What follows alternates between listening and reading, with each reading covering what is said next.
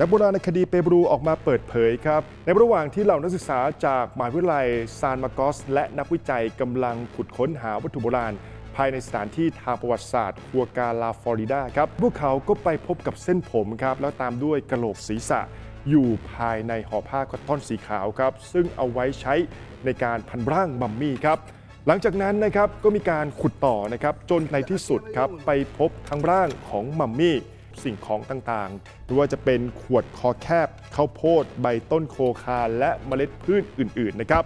โดยเหล่าผู้เชี่ยวชาญเชื่อว่าสิ่งของเหล่านั้นครับน่าจะเป็นส่วนหนึ่งของการบูชาเทพเจ้าครับ และเชื่อกันว่ามัมมี่ตัวนี้ครับน่าจะทำขึ้นในช่วงยุควัฒนธรรมแมนเชสซึ่งก่อกำเนิดขึ้นในแถบภูเขาใกล้กับกรุงลิมาย้อนหลังกลับไปไกลถึงราว 1,500 ถึง 1,000 ปีก่อนคริสตกาลครับ